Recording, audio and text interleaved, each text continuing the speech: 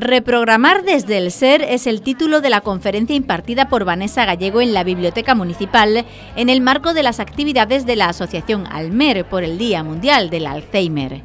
Un evento dedicado, entre otras cuestiones, a la inteligencia emocional y del que podemos ver un resumen en este programa especial.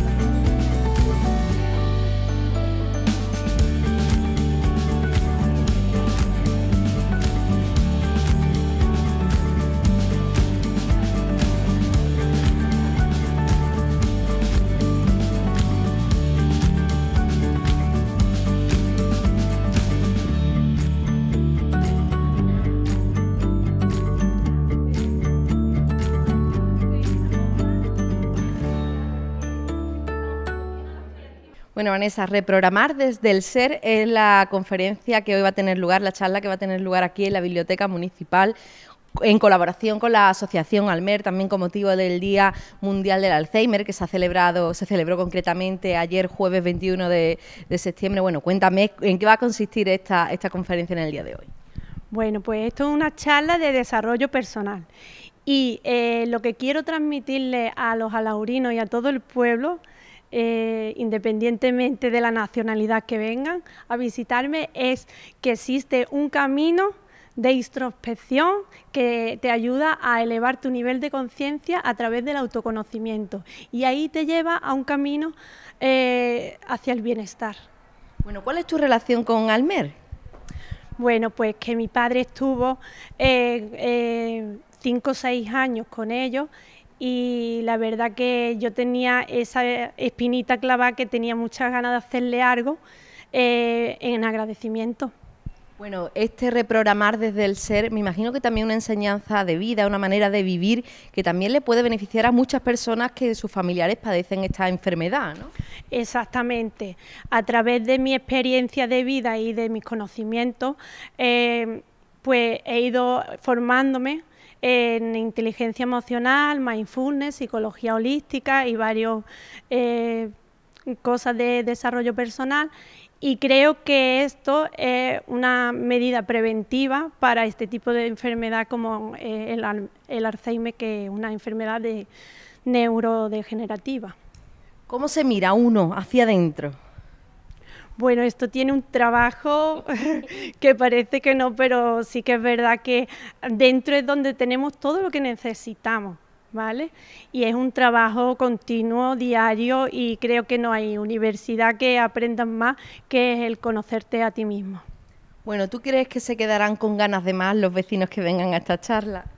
Bueno, pues yo espero que por lo menos eh, tengan esa curiosidad de decir, bueno, si ella ha sido capaz de llegar hasta donde está, con todo el camino y la trayectoria que yo traigo, después de sufrir ansiedad, trauma, eh, heridas emocionales, eh, depresión, y gracias a que me mm, indagué en el desarrollo personal, pues eso ha sido mi camino como soporte emocional, pero también ahora, hoy en día, pues como me he formado, pues quiero ayudar a los demás.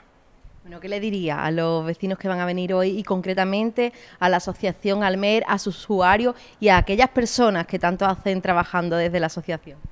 Bueno, que tienen una labor magnífica, que son estupendos y que sigan con esa ilusión y esa dedicación diaria tanto a los enfermos como a sus familiares y que estoy eternamente agradecida.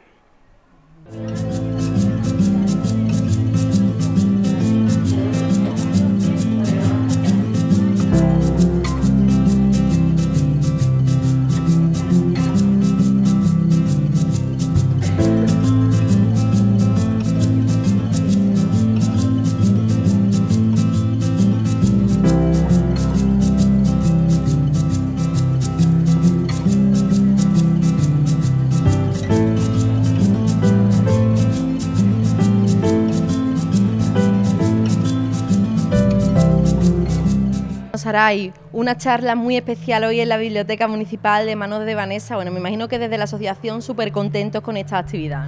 Pues la verdad que estamos muy contentos porque es una es como la primera iniciativa que se ha tenido eh, de hacer un tipo de charla de este tipo que realmente lo que va a contribuir es a que se conozcan más herramientas para el tema de, la, de lo que es eh, aprender a querernos, aprender a reprogramarnos, a tener eh, mejor autoestima y sobre todo el tema de las influencias emocionales que, importan muchísimo. Y sobre todo, bueno, Vanessa, que, para nosotros es especial desde Almer porque ha sido una cuidadora.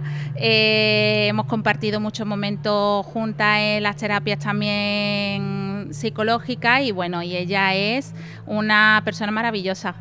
¿No crees que esta, porque ella no decía que hay que mirar hacia adentro, cree que esta manera de, vivir realmente, que es lo que viene a, a mostrarnos una manera de vivir, ¿Crees que le puede beneficiar a estos familiares y enfermos de, Alzheimer de la asociación?